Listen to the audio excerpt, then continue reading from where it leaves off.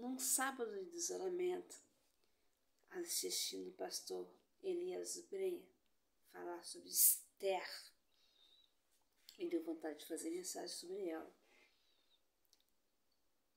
E eu quis fazer uma semana de oração. Só que agora eu vou estar fazendo pequenos vídeos com os assuntos bem resumidos, né? E minha voz vai falhar, estou em crise de asma, mas acho que a mensagem vai ficar. É, Esther é um dos livros que mais me encantam. A sua coragem para poder superar uma situação bem complicada. É a maneira como Deus agiu para libertar o seu povo. Esther, a donzela que se tornou rainha e resgatou o seu povo. Verso bíblico. Esther 2, 8.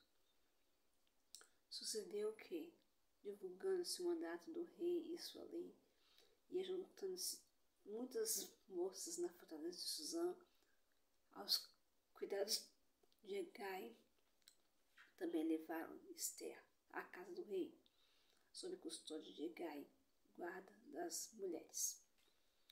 No capítulo 1 nós temos que certo dia, durante um grande banquete, o rei Assuero manda buscar a rainha Vasti para que ela desfilasse diante de seus convidados e mostrasse a sua formosura. Porém, ela não quis, ela não se deu aos caprichos do rei e ela pagou caro pela desobediência. Na sua ira, o rei Assuero mandou que trouxessem outra mulher para que se tornasse rainha. É. A pergunta que não quer calar que será que Vasti não obedeceu ao rei? A resposta tem a ver com os propósitos de Deus. Deus permitiu que assim fosse. Na verdade, Deus estava trabalhando para que Esther assumisse esse papel mais à frente.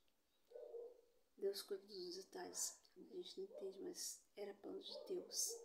Né? Mesmo antes de Esther mesmo antes que Esther soubesse do que aconteceria, aconteceria na vida dela, Deus já estava preparando. No capítulo 2, nós temos que aquelas jovenzinha órfã criada por seu primo Mardoqueu, ela foi chamada, quando ela foi chamada à presença do rei, ela achou graça diante do rei e o rei a fez rainha. Ela estava acostumada a uma vida de submissão. Isso permitiu que Deus trabalhasse por ela.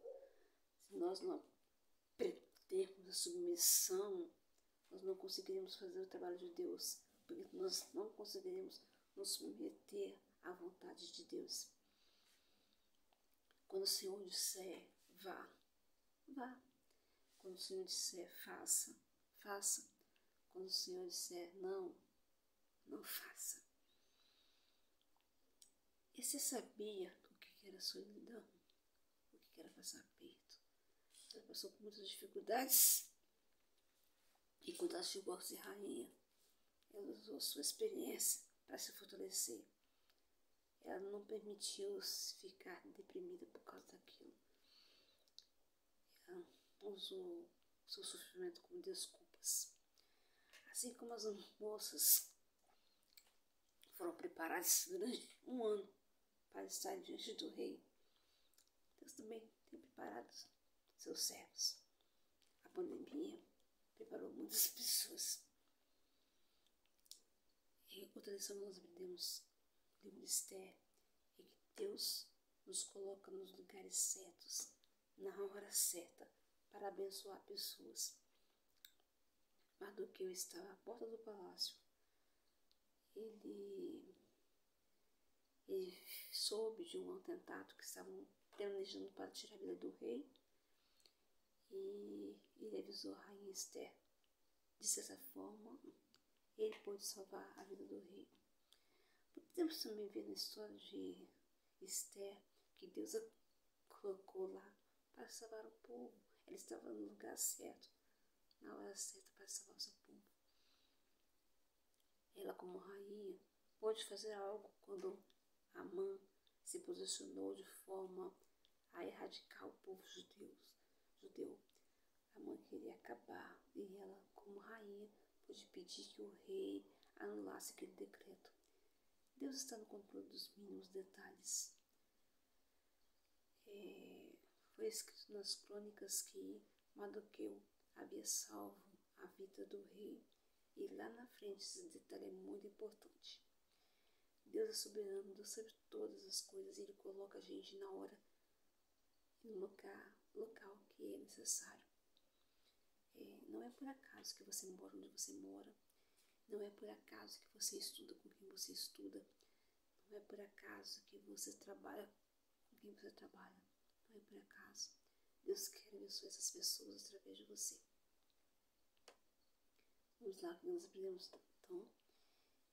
É, a exemplo da rainha Vasti, nós pagaremos um preço muito alto, porque não existe desculpa consistente que venha justificar uma desobediência. Bom, outra coisa que nós não podemos esquecer é que Deus tem o controle da história. Deus tem um plano para você. Ele tem um plano para Esther, ele tem um plano para você. Deus nos coloca no lugar certo, na hora certa para abençoar pessoas. Atrás de cada permissão de Deus há um propósito. Devemos dar o nosso melhor, mesmo que sejamos em situações é, adversas, né? E não esquecer que Deus está no controle de tudo.